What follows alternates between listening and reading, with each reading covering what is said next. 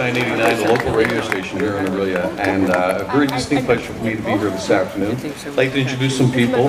Uh, Of course, the man of the hour, Mr. Gordon Lightfoot. Uh, The Stolten. Gino Cavicchioli. Yeah, Gino.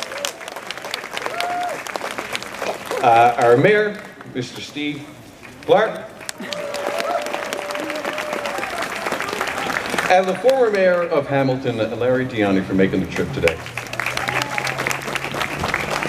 As I said, I'm Tony Hanna from Sunshine 89 here in Orillia, and um, in September of 1977, I was a young guy. I was going into grade seven at uh, uh, junior high school in St. John's, Newfoundland. I had this awesome English teacher. His name was Stan Lake.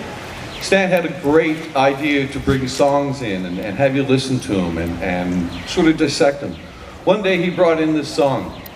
It was about a shipwreck on the Great Lakes that had happened a couple years before, and I got swept away, and the, how the waves turned into minutes to hours, and, and the Witch of November, and it just captivated me. The gentleman's name who wrote the song, his name was Gordon Lightfoot. He captured me that much that I've been a lifelong fan ever since, and, and it's such an honor to be here this afternoon.